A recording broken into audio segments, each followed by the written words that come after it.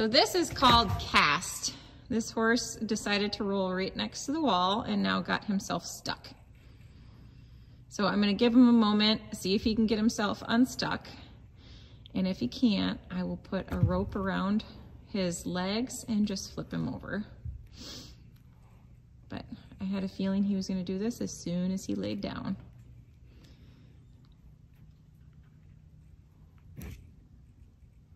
You think, buddy, can you do it? Can you fix yourself? I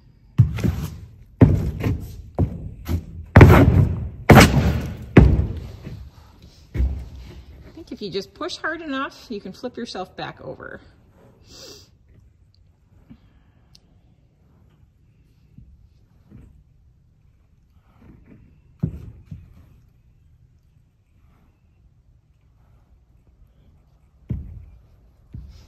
I've had to unstick many horses like this. Again, I'm just giving him the opportunity to fix it himself. Aha! Good job, buddy. Now don't do that again. That was silly. Go roll somewhere else.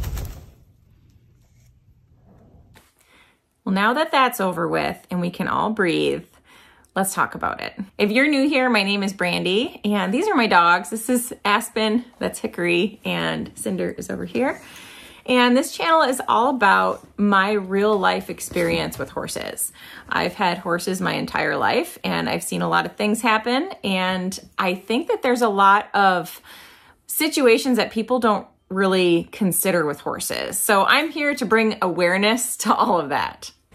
In this particular scenario, the horse was brought into the arena and turned loose, and it didn't take him but a few seconds to walk straight over to that sandy spot by the wall, lay down, roll, and he was stuck. Now, he was down for a total of a minute and 27 seconds. I started recording almost immediately, so everything you see is everything that happened. The biggest thing I want to stress is when people see a horse get into a situation like that is they immediately want to rush in and save them. And I feel like it's best to assess the situation, stay calm, and just watch and kind of wait it out a little bit and see if the horse is able to help himself. If you encounter a horse that is cast against a wall or a fence or a shelter or something, the biggest thing to really think about first is do not get in the way of flying feet. Like I said, a lot of people want to rush in, and I think that that's when most people and horses are going to get hurt because if the person is panicking and then runs up there to save a horse that's panicking, it's only going to make the situation worse. So the best thing you can do is just relax and try to be calm and assess the situation and then proceed. I am convinced that horses spend the better part of their life searching for ways to die. And with that being said, as a, as a trainer, as a horse owner, as an instructor, I spend a lot of time preparing horses for things that could go wrong. Okay. So I'm always hoping for the best, but I plan for the worst. So what I mean by that is my horses are all taught to stand tied, to be patient, um, and in a lot of different areas. So I put them in different situations so they can learn to be patient regardless of where they're at. Um, I also spend a lot of time getting my horse used to things being around their legs. So I do a lot of rope work with my horses. If you're not familiar with what I mean by rope work, I would seek out a professional and get help so you can learn how to do that stuff. I am not by any means somebody that is um, a roper. I, I am not handy with a rope. I'm very uncoordinated and clumsy, but I do try to get myself as familiar with handling a rope as possible so I can help my horses with this sort of stuff. If your horse gets stuck in this kind of a situation, the last thing you want is for them to have never felt a rope around their leg and now suddenly they're in a situation where they're panicking and then now they've got a rope around their leg and then they're panicking more about that. I have a lot of peace of mind from knowing that my horses are used to these things. So when I go to put a rope around their leg and there's a little bit of pressure on it, they don't panic. They're thinking, this is familiar to me. I don't need to worry about this. And I'm not adding more fuel to the, the fire that's already existing. So basically, if I needed to get involved in this situation with this horse. If he wasn't able to correct himself, I would have put from a distance, I would have gotten ropes around his front legs and hind legs. The last thing I want to do is get too close there when there's feet flying everywhere. But I would have gotten ropes around those front and hind legs and would have given a big heave ho to just roll him over. And then he would have been able to get up just fine. Laying down for long periods of time is not something that horses are designed to do. So if they become cast, say in a stall overnight and they're like that for hours, it can do a lot of internal er, internal damage simply because of the weight of their body. They're not meant to be like that. Horses are meant to, you know, lay down for short periods of time and then they stand up to sleep. I've had so many situations where I've had to rescue horses that are, were cast in some manner or another. So I'll share a few of those with you just so you can get an idea of the, the things that horses can get themselves into. So for instance, years ago, I used to have pea gravel in my stalls and Muffin, my lesson pony, she absolutely loved rolling in pea gravel. So she would go into these stalls, and the first thing she'd do is she'd drop and she'd be rolling around just thinking it's the best thing ever.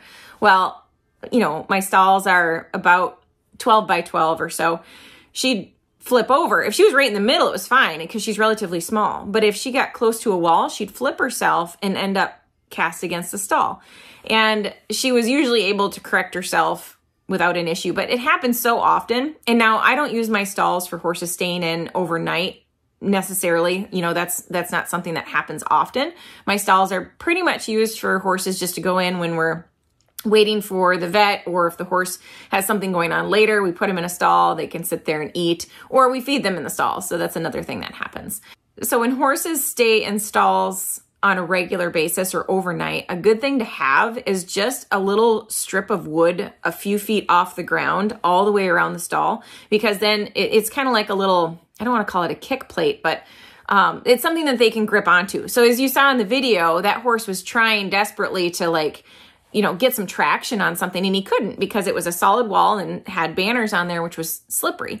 So, but if a horse can get some traction, they're able to flip themselves back over. So you'll see that in some stalls and some barns where they have just that little ledge that goes all the way around the bottom. That's what it's for. Another scenario was my colt Manzer when he was about seven months old. And there's a video in his playlist about this but I found him, I just randomly went out in the pasture one day just to check on him. I do that all the time. I'm always out looking at the horses and just making sure that everybody's okay and not, you know, stuck on something or whatever. So Manzer had rolled, but he rolled into the shelter, just the, the wall of the shelter and the end of it. So he had his front legs and his head and everything tucked up against the wall, but his hind legs were were loose and laying out. So he couldn't push off with his front legs because they were all tucked up and his hind legs were just out in the open. So he did get himself he managed to to push with his front with his knees actually. He kind of shoved himself away and was able to get out of that situation, but I was on my way to go get a rope so I could rescue him and he corrected himself in the time that I was gone. Another situation I had is a client called me one time and her horse was in a stall and these stalls had like little half doors. So the whole bottom was open and he had laid down in the stall and just got his basically got his whole hind end underneath the door. And so in that situation he wasn't cast but he was he was stuck. He could not get up because he was under the door.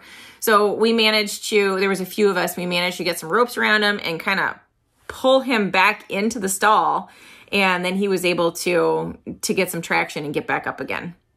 And then I had this horse here for a few months and he was in court when he came here. I always put horses in quarantine at first because I want to make sure that they're not going to spread anything to other horses. So I have to make sure they're healthy.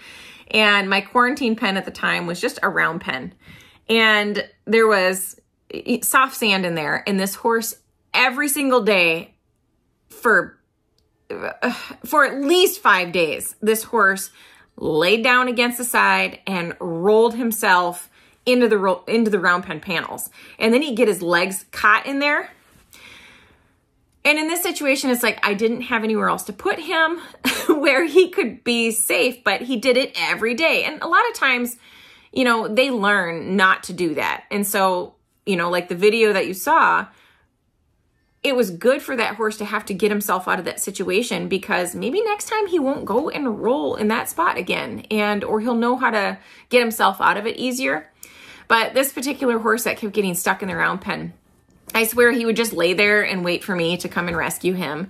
And I eventually ended up moving him because it was so stressful for me to keep him in an area where I was always worried about him getting stuck. Because, like I said, if, if they're down for an extended period of time, it's really bad for their organs and everything else. So, just part of the process. And then I also had a horse one time, Annabelle, my lesson horse. She um, she wasn't cast, but she went and rolled in a ditch and got herself stuck on her back. so, and I watched the whole thing happen. Um, and it was in the middle of winter, so it was just like a little ditch, and then there's deep snow everywhere. So she she was like a turtle on their back. So she laid down and rolled, got herself in this ditch, and then it was just kind of upside down, kicking her legs up, trying to figure out how to get out. And she managed to wiggle around enough where she could flip herself back over. But horses get themselves in these situations, you can do everything in the world to try to have the safest place possible for your horses, and they're going to find a way to get themselves in a predicament. So, the best thing that we can do is educate ourselves, make sure that our horses have all the necessary training to at least keep them from panicking in a situation so we can help them and stay calm. Well, I hope you enjoyed this video and I hope that in some way it can help somebody someday. So thank you so much for watching. I'll see you in the next one.